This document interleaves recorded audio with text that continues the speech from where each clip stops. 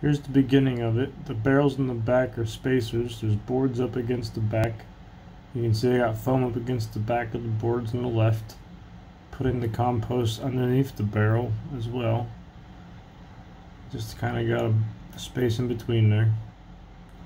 There's about 75 feet of PEX tubing inside the barrel, which is filled full of water in the center of the compost. Cinder blocks are there These just barrels, to make it easier looking at the back are just for spacers. More compost in that area without using as much compost, because this could be almost twice the size by just trying to lay it in.